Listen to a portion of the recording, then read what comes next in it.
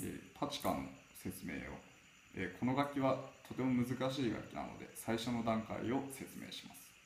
まずこのピースの部分に入れます。そしてこのままキャッチをします。でグーグーチョキチョキグーグーチョキチョキ。12341234要領はまだカスと一緒です。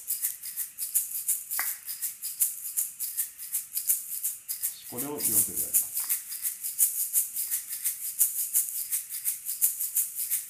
これは比較的誰でもできますが次のステップが少し難しいです、えー縦に振ります。そして手首を、えー横にせずまっすぐ振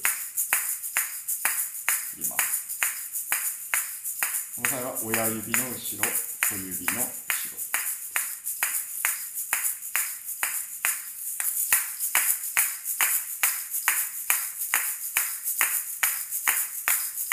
とても独特なリズムがなります。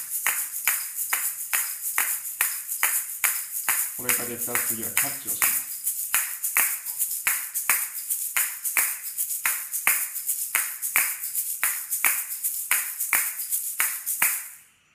ここまででもかなり難しいのでぜひ練習してみてください、えーもし技がわからないときは、えー僕の名刺から僕に連絡していただければ技の動画を送りますので、えーぜひ練習してみてください。パチカでした。ありがとうございます。